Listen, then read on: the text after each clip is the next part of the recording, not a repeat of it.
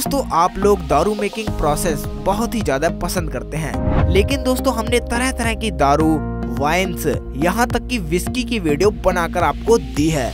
लेकिन दोस्तों, आज के इस वीडियो में हम आपको बताएँगे कि इंडियंस लोग देसी तरीके से कैसे देसी दारू बनाते हैं। ये दारू इंडिया की हर गली मोहल्ले में जानी जाती है। यहाँ तक कि थोड़े कम पैसे में भी मिल जाती है।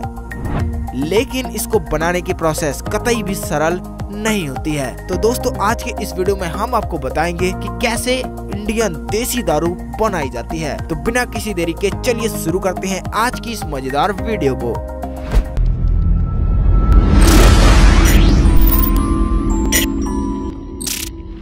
देसी दारू मेकिंग प्रोसेस।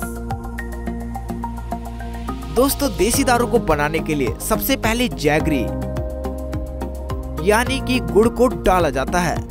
गुड़ को ऐसे ही नहीं डाला जाता।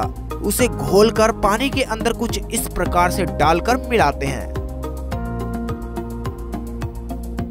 इसके बाद अब उसके अंदर ईस्ट को ऐड किया जाता है और ईस्ट को अच्छे से मिलाते हैं।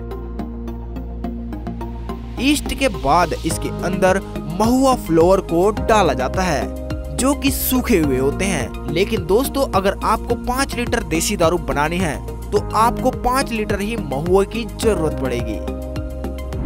दोस्तों, आपकी जानकारी के लिए हम आपको बता दें कि यह पूरी तरह से इलीगल वर्क है। अगर आपको पुलिस ने ऐसा करते हुए देख लिया या पकड़ लिया तो आपको जेल भी हो सकती है। तो जरा सावधान रहिएगा और बस केवल आप इस वीडियो को देखकर ही मज़ा लीजिएगा। दोस्तों, अभी जो पेस्ट बनाया गया था, उसे एक या दो दिन के लिए ऐसे ही छोड़ देते हैं।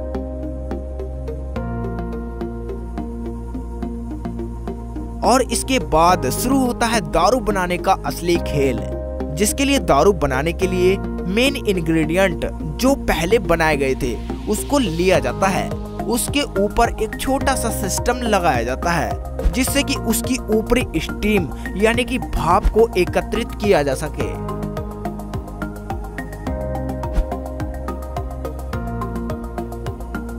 यहाँ आप देख सकते हैं कि किस तरह से ये प्रोसेस किया जा रहा है, जिसके लिए या तो एक पाइप लगाया जाता है, जिससे देसी दारू को एक अलग बर्तन में एकत्रित कर लिया जाता है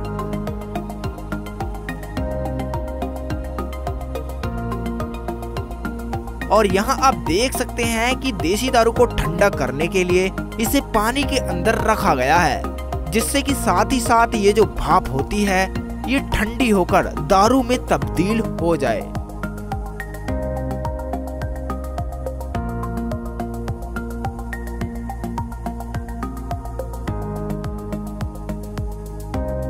दोस्तों, दारू बनाने का यह खेल यहीं पर खत्म नहीं होता है। अब अगर किसी को बड़े लेवल पर दारू बनानी हो और काफ़ी अच्छा फ्लेवर देना हो और महँगी दारू बनानी हो तो उसके लिए हम रुख करते हैं इन जंगलों की तरफ़, जहाँ एक तरफ़ बड़े से टैंक में पानी को डालकर उसके अंदर फलों को डाला जाता है।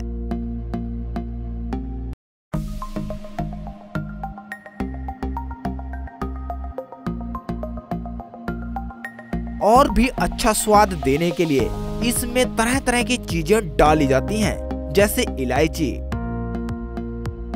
महुआ, गुड़ ईस्ट और संतरे अंगूर।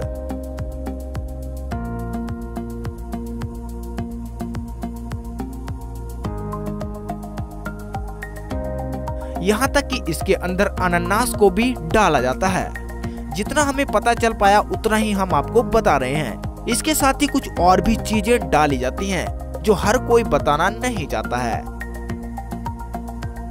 लेकिन देसी दारू बनाने के प्रमुख इंग्रेडिएंट यही हैं।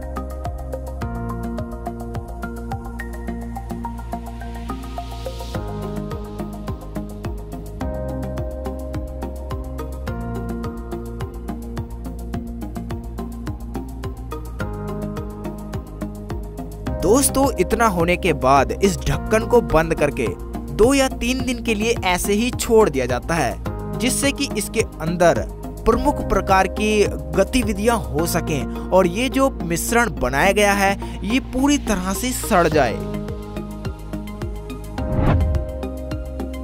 दोस्तों, इस स्पेशल दारू को बनाने के लिए भी वही प्रोसेस अपनाया जाता है, जो अभी आपने थोड़ी देर पहले देखा था। अब अगले दिन इस सारे माल को बाहर निकालकर, एक बड़े से भगोने में कुछ इस प्रकार से रखकर उसके नीचे से आग लगाई जाती है।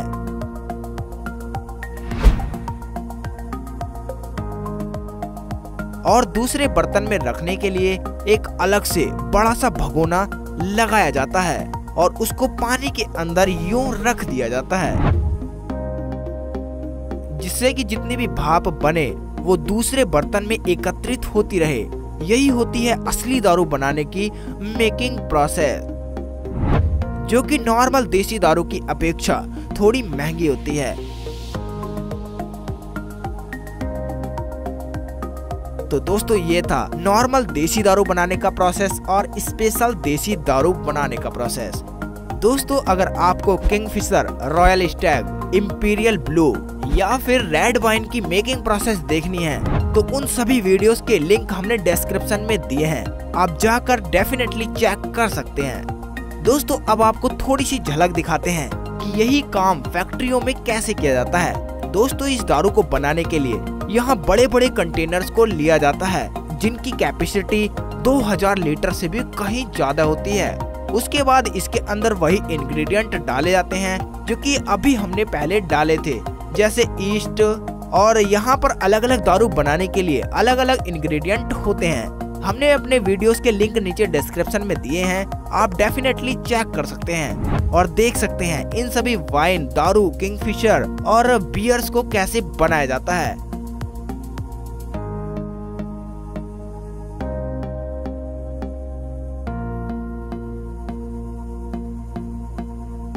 दोस्तों, अगर आपको यह वीडियो पसंद आया हो तो इस वीडियो को एक लाइक ज़रूर से कर दें। और अगर आप ऐसे ही और वीडियोस देखना चाहते हैं तो हमें नीचे छोटा सा कमेंट कर दीजिए। हम आपके लिए इस वीडियो का पार्ट टू भी लेकर आएँगे। और अगर आप हमारे चैनल पर नए हैं तो इसे सब्सक्राइब करके नोटिफिकेशन को ऑल पर ज़रूर से सेट कर लें। तो दोस्तों, मिलते हैं एक और न्यू वीडियो में। तब तक के लिए बाय। जय हिंद, वंदे मातरम। ख्याल रखें अपना और अपने परिवार का।